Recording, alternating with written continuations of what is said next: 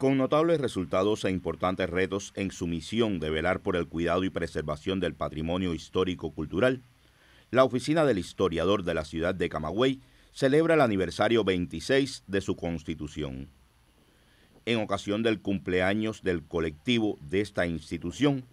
el miembro del Comité Central del Partido y su primer secretario en la provincia gramontina, Federico Hernández Hernández, entregó una placa conmemorativa a José Rodríguez Barreda, director de la Oficina del Historiador. Es expresión del apoyo que recibimos en los últimos meses, eh, muy de cerca, en las cosas que acontecen en la oficina, en las cosas que acontecen con la ciudad, en, las pretensiones que quizás no puedan ser como en años anteriores, no creo que haya que explicar por un 510 aniversario, que a pesar de las dificultades eh,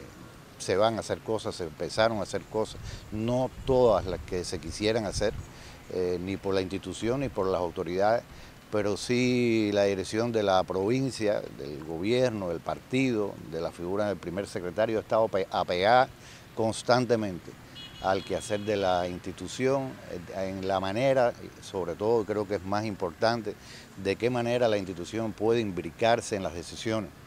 que le tocan, por supuesto, al partido y al gobierno con relación al tema patrimonial y un poco más allá, como se acaba de decir ahí. A lo largo de 26 años, la Oficina del Historiador de la ciudad de Camagüey ha contribuido favorablemente en hacer de la urbe un espacio adecuado, donde coexisten el modernismo con la longevidad.